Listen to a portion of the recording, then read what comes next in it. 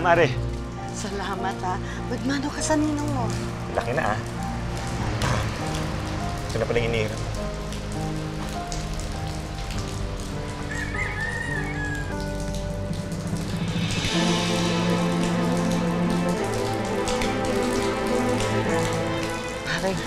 Maraming maraming salamat talaga ha.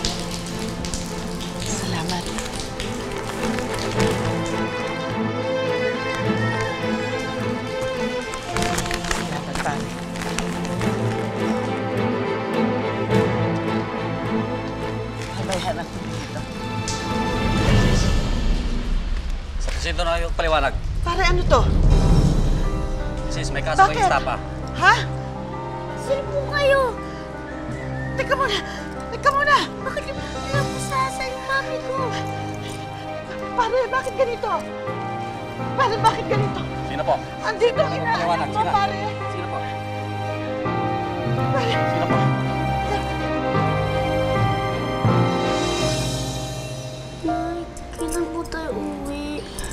Uuwi din tayo, anak. Huwag ka mag-alala. Mamaya lang uwi na tayo. Huwag kang. Tay!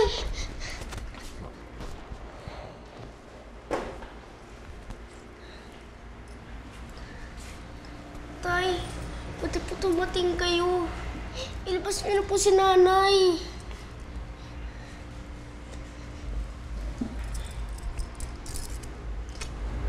Sinasabi ko na nga ba eh. Na aabot ka sa ganito eh. Ako ba ang sinisisi mo? Pinagsasabihan na kita pa. Dapat sana makontento ka sa kung anong meron tayo eh. Masama bang maghangad ng mas magandang buhay para sa atin? Para sa mga anak natin? Sa paghahangad mo ng extra kita, yan ang napala mo. Wala sa akin ang pera. Alam mo yan. Inosente ako at hindi ako magnanakaw. Yan ang kailangan patunayan sa korte. Nak, nak, halika na. Uwi na tayo. Ha? Ano po si Nay? Ayoko iwan si Nay. Mak, mak, mak, huwag kang umiyak, huwag kang umiyak. Uuwi din ako, uuwi din ako. Kung hindi bago mag-birthday si Bunso, bago magpasko, uuwi rin ako. Pangako ko yan sa'yo. Huwag kang iiyak, huwag mo ako alalahanin. Magkakasama din tayo. Sige na. Huwag iiyak.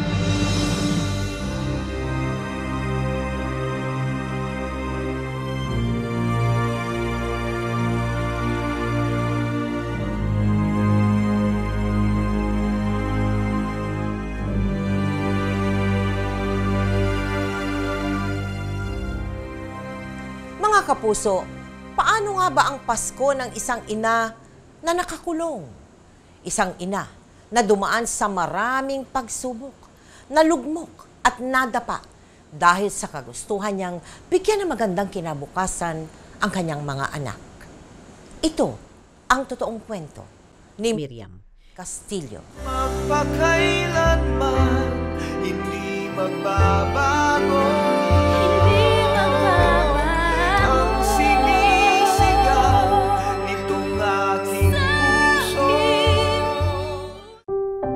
Tubong giginto, Bulacan si Miriam. Itinuring noon na swail na anak dahil siya ay matapang at mahilig mga tuwiran sa mga bagay na sa tingin niya ay tama. Sa kabila ng pagtutol ng kanyang mga magulang, umibig si Miriam kay Jessie, isang byudo na halos dalawampung taon ang tanda sa kanya. Nagkaroon sila ng tatlong magkakasunod na supling na sinundan pa ng lima. Ang tanging hiling Sa Pasko darating.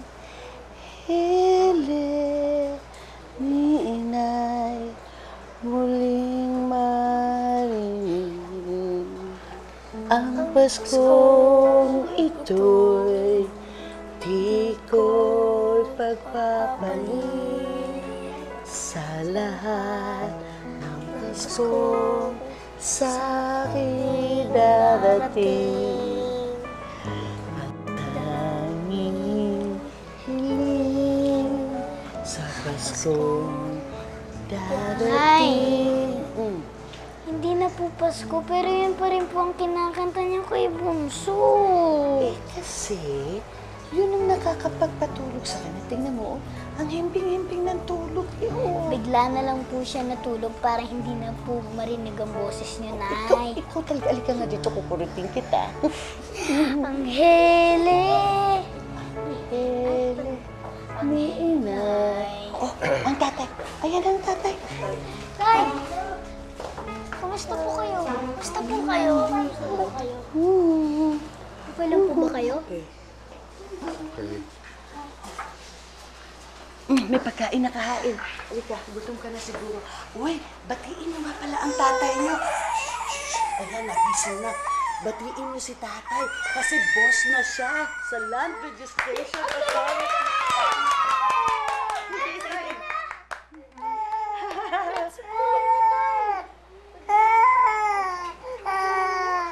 Anong bossing? Na-demote ako kamo.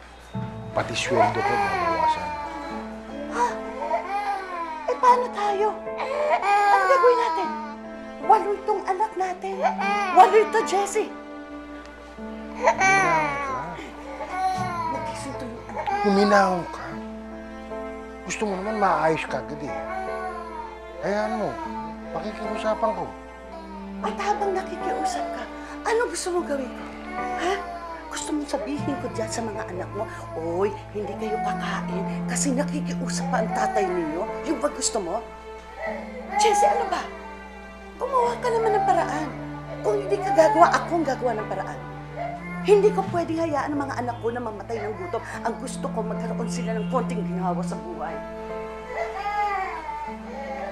Palagi na lang ganyan eh.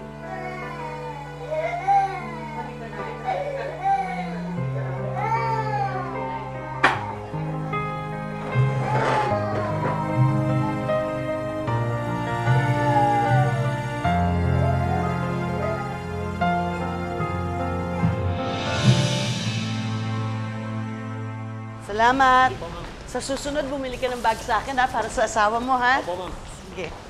Oh, dito ko kayo iintayin mamaya, ha? Eh, Nay, yung baon po namin. Ha?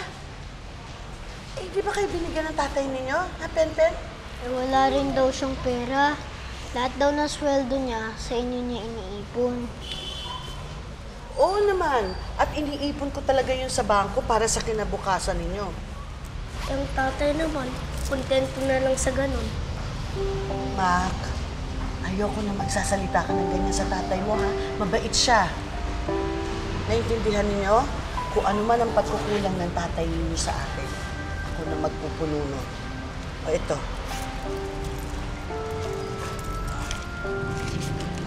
Yan, tipirin nyo ha, huwag masyadong magastos. Salamat po, Nay. Salamat po. Ah, ito. Mag-aral kayo mabuti, ha? Bye-bye. Bye-bye. Bye-bye. Bye-bye. Bye, Nay. Bye! Magaganda ang dala ko ngayon, ma'am. Ito, tingnan mo. Ang ganda ng kulay nito, oh. At sa iyo, ma'am, teka, meron akong ito. Ayan, oh, tingnan mo. Maganda, terno. Kunin mo ito. Tamo, Chanel yan eh. Chanel. Nak, ito, ma'am, gusto mong ternohan? Three gifts pa rin. ah. Mrs. Castillo? Miss Milagros, good morning po. Ma'am, pili kayo ng bag. Marami akong dala. Ah, hindi ako mahilig sa bag. Naku, luma na yung bag ninyo eh. Pag bumili kayo ng bagong bag, sigurado ako magkakaroon kayo ng bagong love life. Talaga?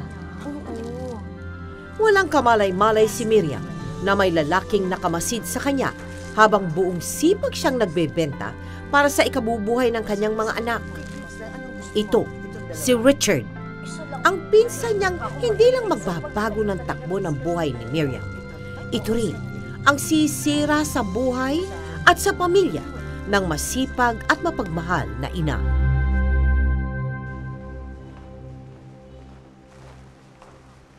Miriam! Hindi mo ako naalala. Richard! Oo, kamusta? Mabuti! Ikaw, ano? Bakit ka nandito? Napadaan ako sabi dito ko na nagtatrabaho kaya inantay na kita. Hindi, hindi naman ako dito nagtatrabaho. Yung mga anak ko, Ah, dito dito nag-aaral. Ilan ba anak mo ngayon? Huwag mo na itanong, walo. Kuya Jesse, kamusta? mabuti naman siya, mabuti naman. Ikaw! Ah, ano, ito, nag-business-business ang konti, bags, yung ganyan. Ikaw nga, ang ganda-ganda ng forma mo eh. Siyempre, medyo magandang takbo ng business ngayon eh. Kaya nga, pumunta rin ako dito at hinahanap kita para makikayat kitang sumali. Talaga? Anong business yan? Anong negosyo? Mamaya sasabihin ko sa'yo, pero maganda to.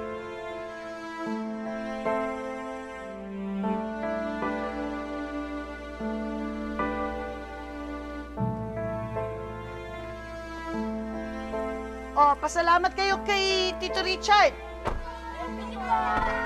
Welcome! Hi.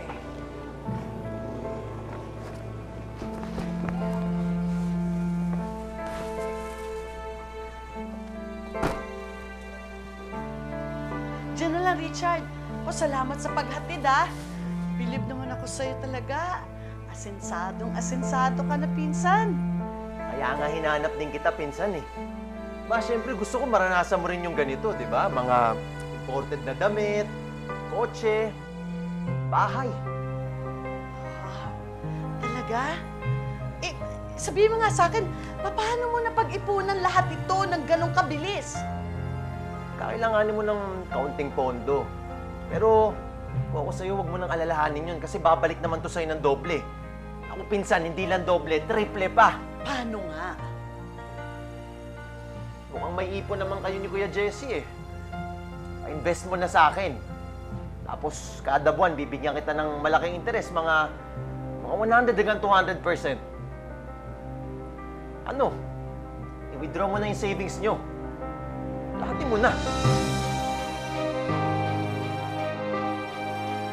Pinsan, mauna na ako. Pag-isipan mo yung sinabi ko sa'yo, ha? Hindi ka na makakita ng ganyan. Sige, salamat ha. Sige. Kita tayo ulit.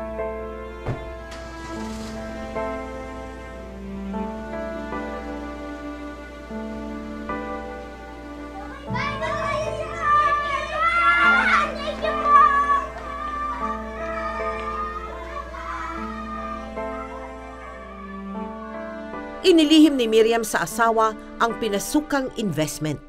Nangutang at nag-withdraw si Miriam ng halos isang daang libong piso at buong loob itong inabot sa pinagkatiwalaang pinsan.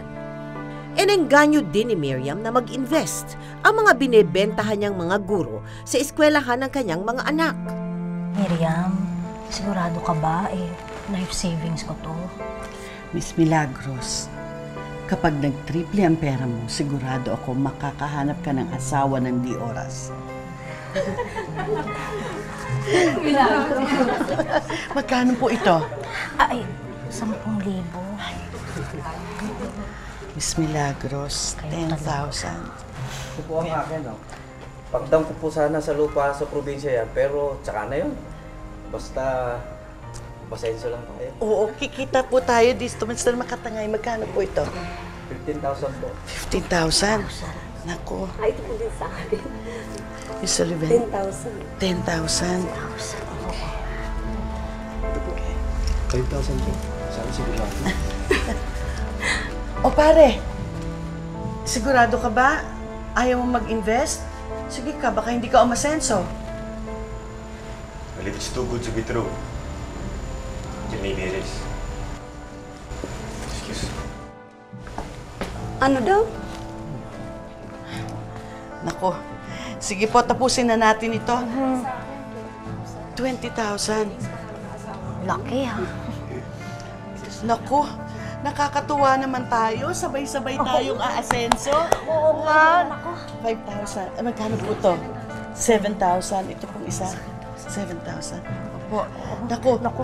Ah, dadalhin ko na po ito agad dun sa pinsan ko kay Richard.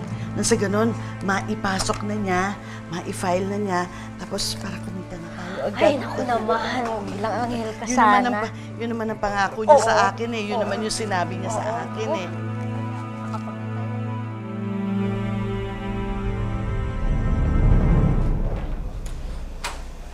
Oh, Nay. Mm. Nay, buti lang po dumating na kayo. Bakit? Eh, kanina pa po yak na yak si Bunso eh. Talaga? Tsaka wala na po siyang gatas. Andyan, andyan, may gatas. Bumili ako. At saka may pagkain dyan. Sige, Tama-tama mag-ain po. ka na. Gutom na po sila eh. Mm, Sige na, maligo na kayo, mga bata. Kayo, gumawa muna kayo ng homework. Tapos maliligo kayo. Jessie, Saan ka ba nagsushoot? Panay, gabi na ang dating mo ah. Inuuna mo pa yung pagbebenta ng kung ano-ano. Puro mga peki naman. Jessie, itong mga peking ito ang bumibili ng gatas sa mga anak natin. Itong mga peking ito ang nagbabayad ng kuryente natin. Bakit sa akala mo ba eh, kasya yung kakarampot na sweldo mo galing sa gobyerno para bumuhay ng walong anak? Sa akin pa nga lang, kulang na kulang na yun eh. Paano kasi maluho ka eh? Gusto mo laging bago. Laging mamahalin. Tingnan mo nga yung mga alas mo. Ang dami pa nakasabit. Tingnan mo ang ayos mo. Naghihirap na nga tayo eh. Tama na po. Huwag na po kayo mag-away. Hindi naman ako nakikipag-away eh. Itong tatay mo, inaaway ako. Tay! Gato! Anong ibig sabihin niyan? Bakit isang libo na lang ang laman na savings natin? Akala ko ba kumikita ka ng limpak-limpak? Saan mo dinala ang pera? Na halos sampung taon nating iniipon. Ha? Miriam, maraming manluloko ngayon. Baka kung ano na yung napasukan mong yan, hindi baling makaapak ka ng iba. Hindi baling maubos ang pera ng iba. Umayos ka, Miriam. Umayos ka. Kung hindi, hihiwalayan kita.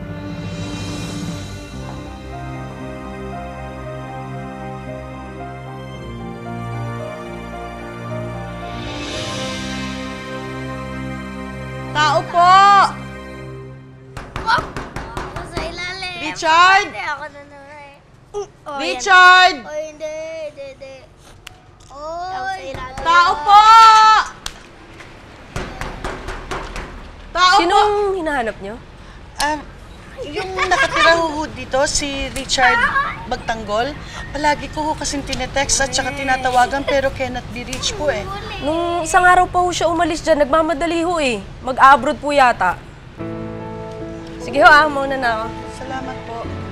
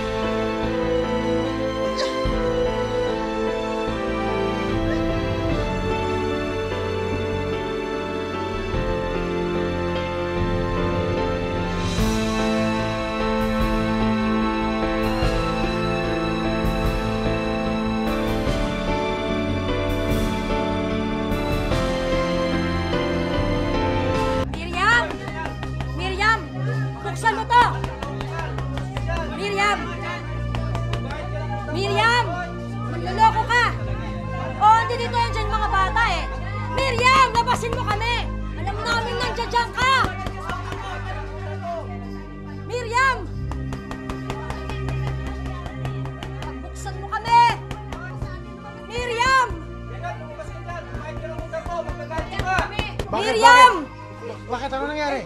Kasi pera namin. Si Miriam ho eh. Palabasin naman po ninyo. Ano nga ginawa? Nangutang ho siya sa amin.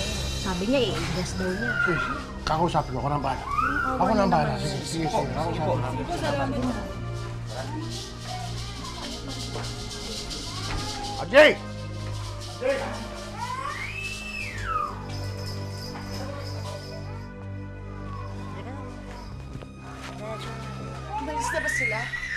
Yung mga teacher nasa labas.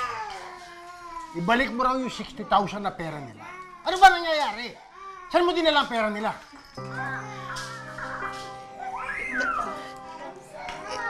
Ipina-invest ko kasi kay Richard. Ang kaso, ang kaso parang tinakbuhan ako. Kasama na yung pera natin.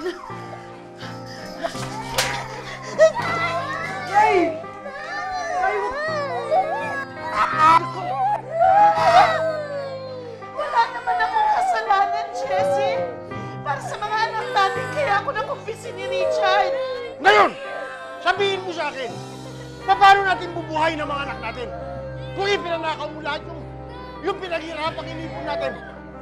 Ha? Ngayon, nagdamay ka pa ng ibang tao. Itidimanda ka ng mga yan. Hindi ka makakatakas. Saan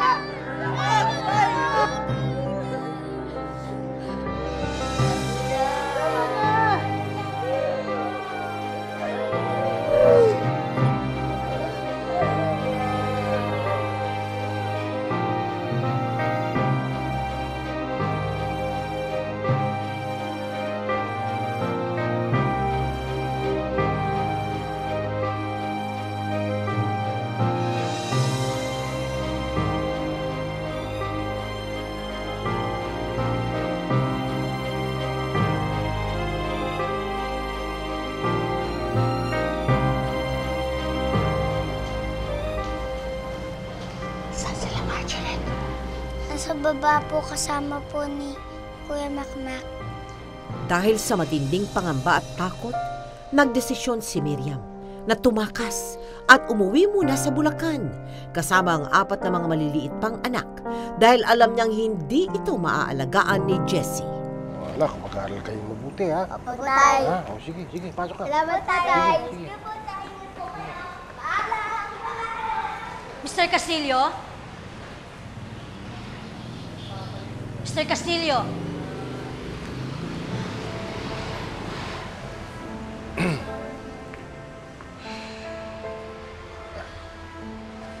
Mr. Castillo, nasan ho ba si Miriam? Tinangay po niya yung mga pera namin eh. Umalis si Miriam. Hinahanap niya yung pinsan niya si Richard pa- para may soli yung mga pera ninyo. Pati na yung pera namin. Maawa naman kayo sa mga anak namin. Eh, wala naman silang kasalanan dito. Sana hindi sila madamay. Ako naman, Mr. Castillo, paano naman kami? Ang kapal ng mukha ng asawa mo. Basta ilabas mo yung asawa mo. Kung hindi, pakukulong namin siya. Tama. Oo. Ano kayo magagalit? Paano naman hindi kami magagalit, Mr. Castillo? Tingnan niyo naman yung ginawa sa amin. Pare, Pare, pare Albert, tulungan mo naman ako, oh. kumbinsihin sila, pakiusapan sila. Hindi naman namin tatakasan ito eh. Hinahanap ni Miriam si yung pinsan niya para may suli yung mga pera nila. dali. Ako na bahala dito. Sige, ako na muna bahala. Si Albert.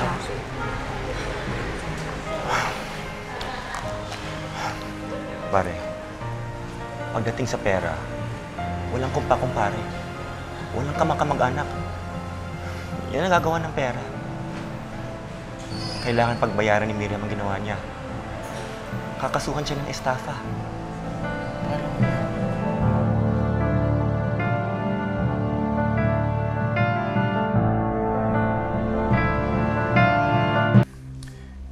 Tiyak na natanggap na niya sa Sabina. Pwede rin natin ipawarang to pare si Miriam.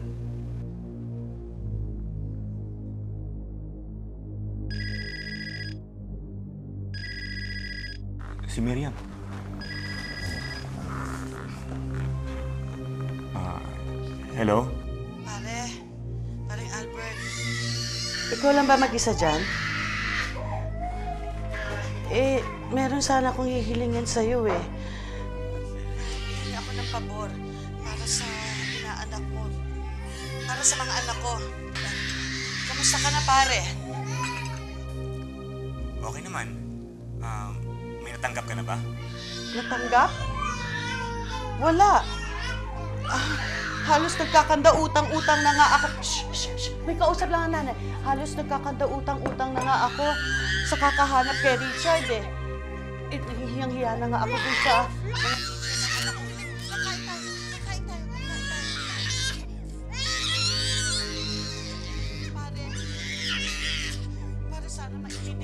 Wala akong kasalanan. Na wala akong tinatakbong pera.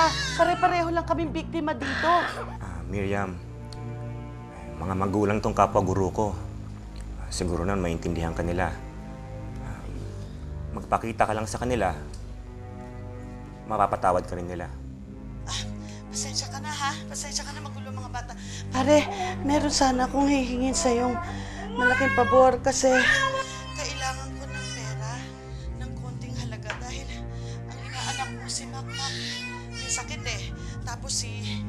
si John Paul naman magbe-birthday na. Eh gusto ko sana na gusto sana mabigyan ng konting handa kahit papano.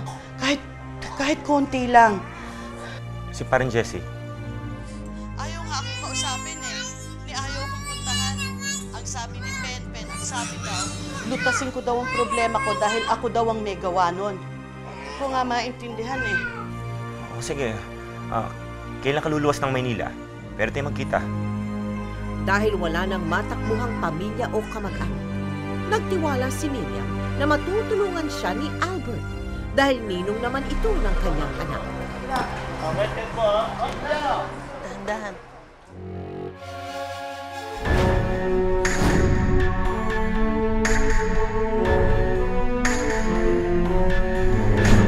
Pare, Miriam, Mare. Salamat ha. Magmano ka sa ninong mo. Laki na ah. Ito na pala yung inihiram mo.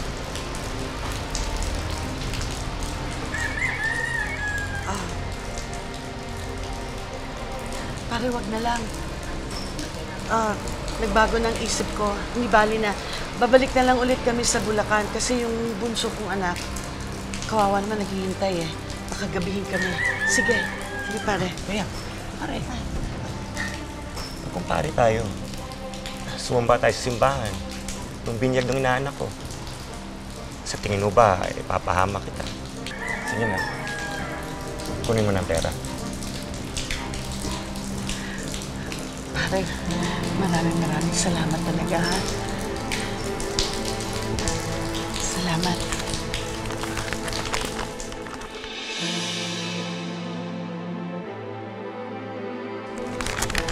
Pare. Dali na. Ano ito? May kaso kang estapa. Pare! Pare! Sino po Sige na po, sige na po. Sige na po, Wala sige na po, po. sasan niyo po yung nanay ko! Sige na po, sige na po. Pare! Pare, bakit akong kasalanan? Bakit mo ginawa ito, pare? Bakit? Wala akong kasalanan, pare! Pare! Anak! Anak! Anak, kung pinitay siya!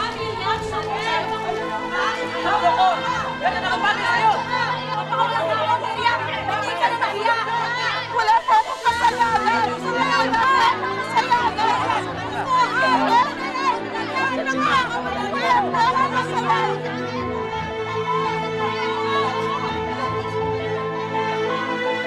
Attorney Ibarra, ano ba talaga yung pagkakasala nitong ating panauhin si Miriam?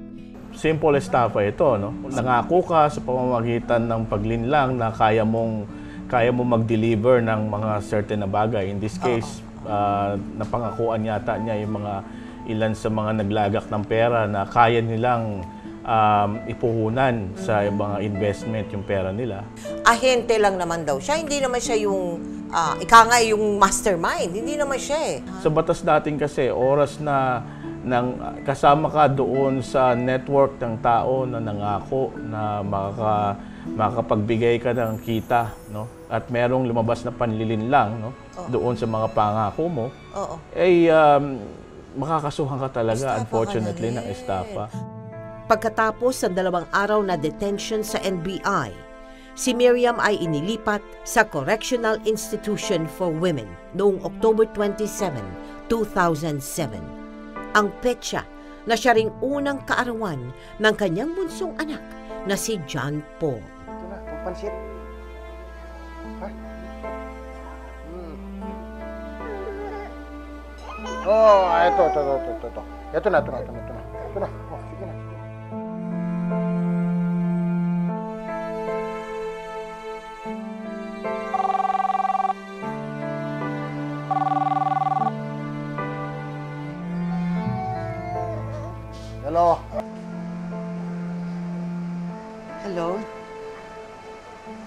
Jessie?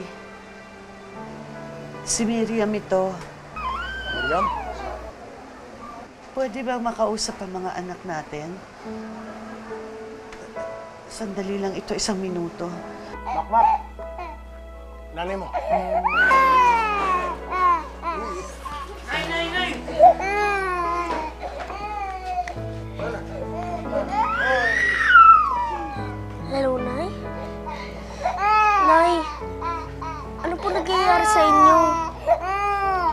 Nasaan po kayo?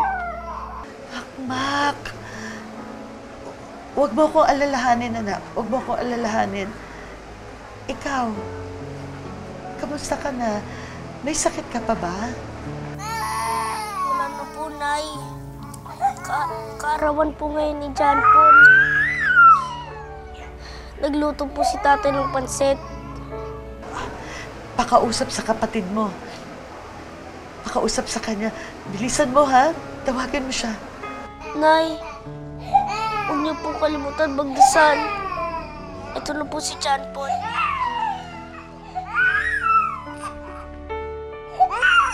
Bunso, Tana, huwag ka nang umiyak.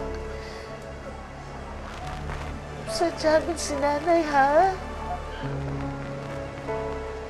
Pero mag magkakasama tayo sa Pasko.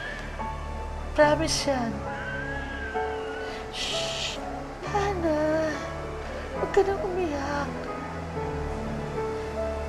Kantahan ka ni nanay, gusto mo? Tana. Ang tanging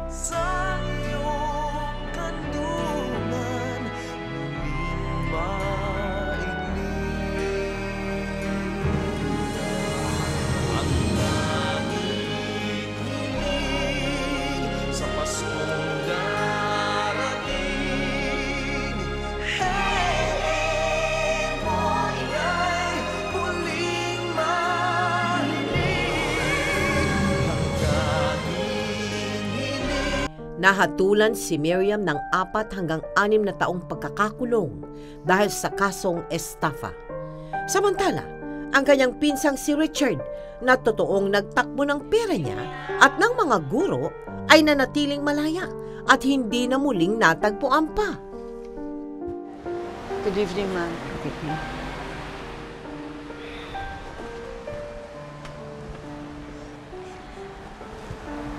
Dito sa loob, wala kang ibang kakampi kundi ang Diyos. Wala kang ibang pwedeng gawin kundi ang magbasa.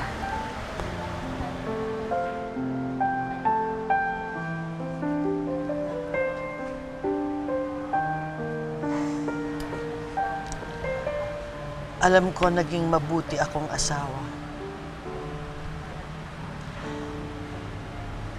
Naging mabuti akong ina para sa mga anak ko. Pero bilang anak ng Diyos, Hindi ako naging mabuti at mabait.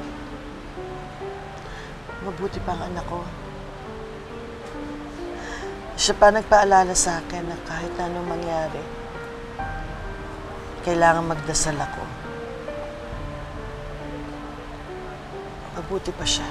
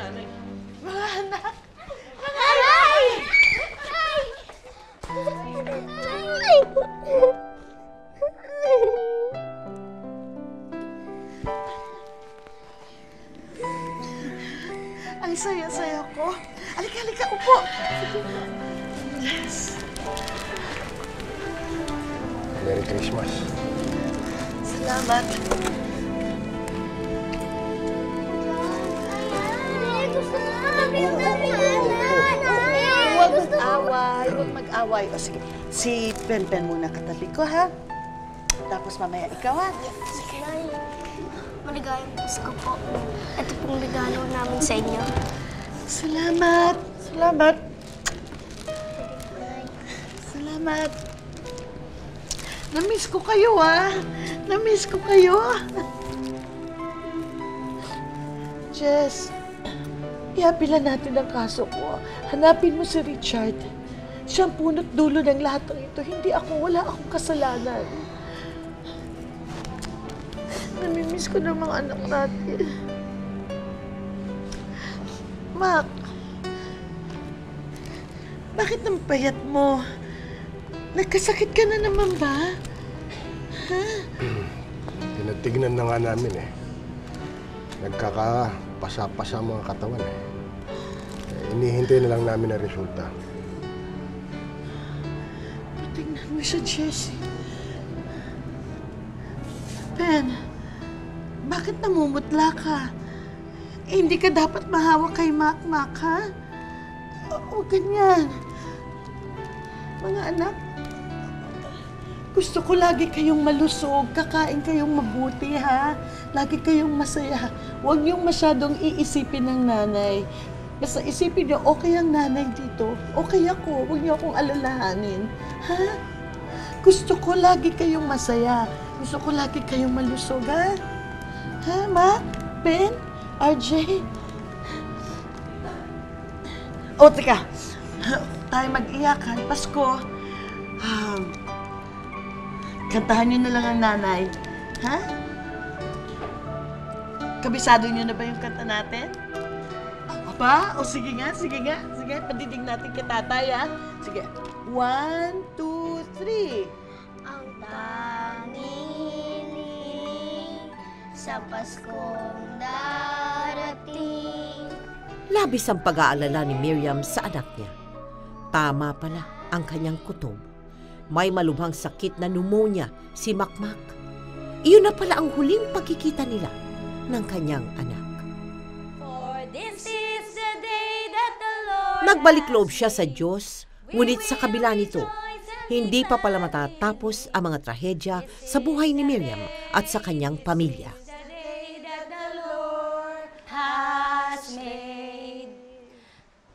upo tayong lahat. Buksan natin ang ating Bible sa Philippians chapter 1. Paul and Timothy, bond servants of Jesus Christ, to all the saints in Christ Jesus who are in Philippi, with the bishops and deacons. Grace to you and peace from God our Father and the Lord Jesus Christ. I take my God upon every remembrance of you, always in every prayer of mine, making requests for you all with joy, for your fellowship in the gospel from the first day until Ano now. nangyari kay Makmak? Being confident of this very good work in you, will complete until the day of Jesus Christ. Just as it is right for me Pumanaw na ang anak this natin. is of you.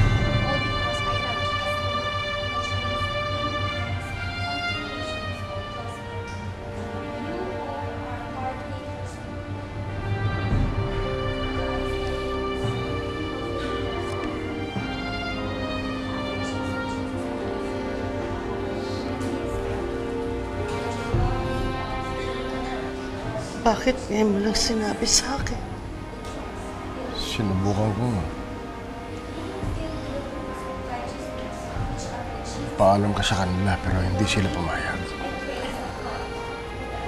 Marami rin pagdadaanan na approval.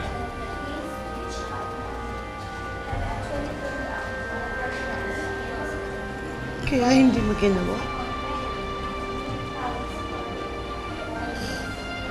Talagang wala kang nagagawa sa pamilyang ito.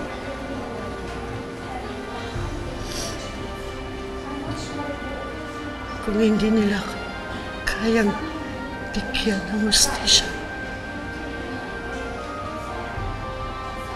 huwag nilang alisin sa akin ang karapatan kong maging isang ina.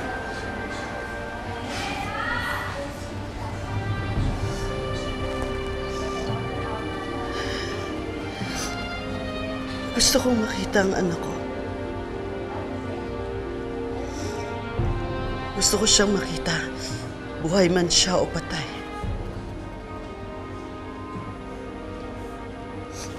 Gusto ko siyang mayakap. Kahit na malamig na bangkay na siya.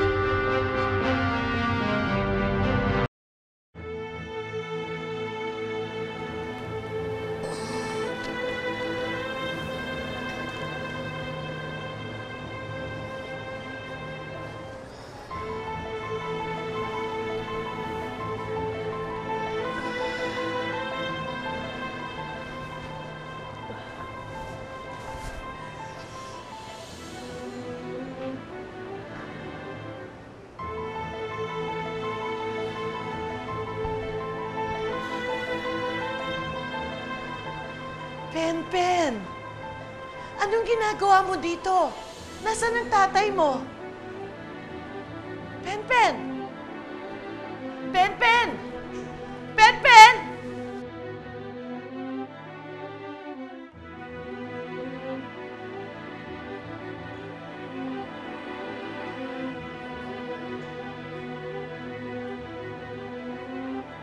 Mak, Mak! Saan nagpunta si Pen, Pen? Huwag mo siyang iiwanan, ha? Kasi may sakit ang kapatid mo, eh.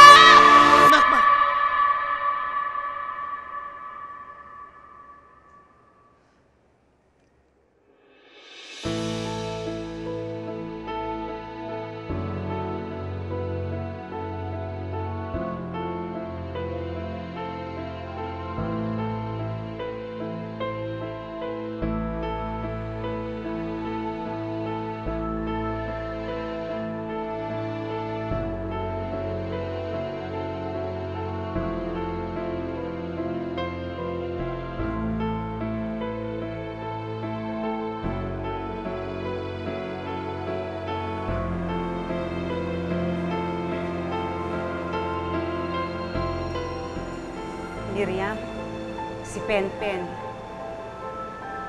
Ah, pinasasabi nga pala ni Jessie na hindi siya makakapunta dito bukas. Kasi libing ang mga anak niyo.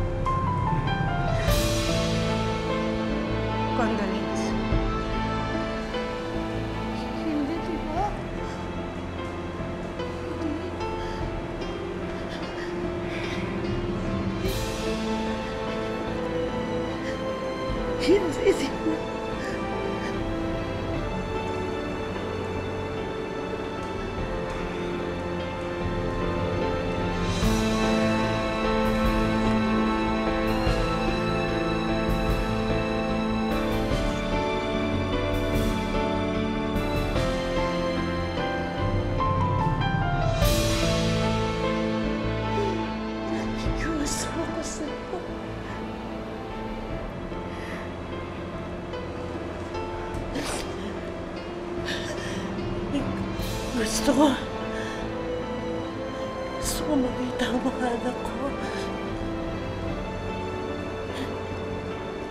Ipagpaalam mo ko. Ipagpaalam mo ko.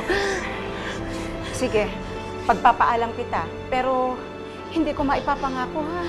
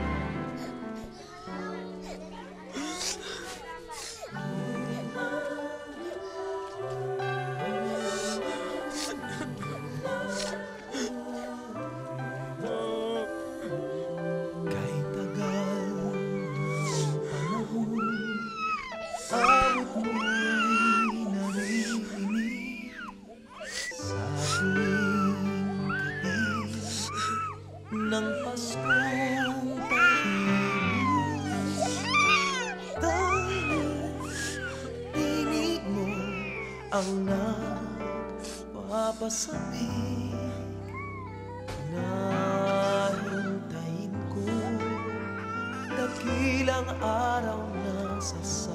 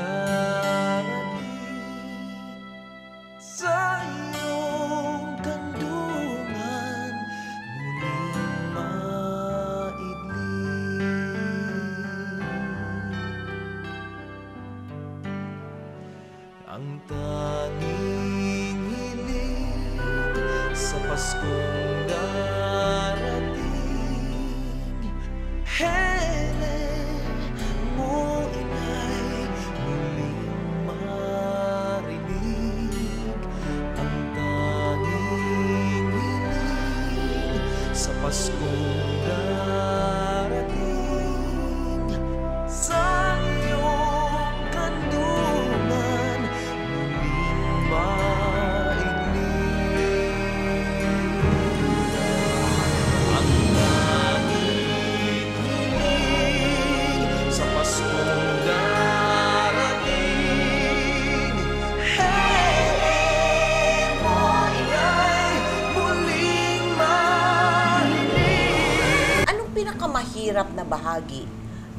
pagiging ama na nag-iisa ka sa walong anak at ang asawa mo ay nasa loob ng kulungan?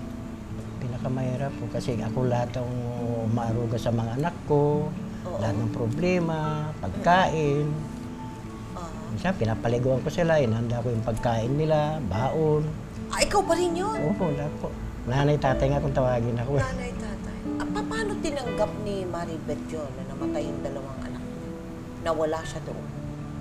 Hindi nga po niya matanggap dahil kasi konti kami lang ginawa naman sa, sa kanya, nakiusap ako doon sa correctional na kahit pa paano, nakalabas siya, nakapunta rin sa, Sa libing. sa libing po. Anong pinakamalungkot sa iyong Pasko?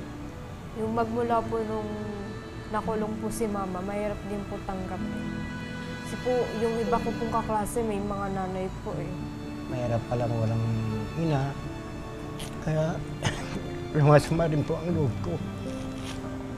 Na wala siya sa iyo. Opo. Nay, huwag naman po kayo mawala ng pag-asa. Eh, kung kayo po mawawala ng loob, mas lalo naman po kami mga anak ninyo. Nay, huwag po kayo mag-alala. Tatapusin po namin ang pag-aaral namin. Miriam, huling Pasko mo na ito rito. Ang susunod na Pasko, malaya ka na. Makukumpleto na rin ang pamilya natin. Jessie, kahit kailan hindi na magiging kompleto ang pamilya natin. Isipin na lang natin na meron tayong dalawang anghel sa langit na magbabantay. Alam mo, nung una hindi ko talaga alam, hindi ko maintindihan kung bakit nangyayari lahat ito sa akin.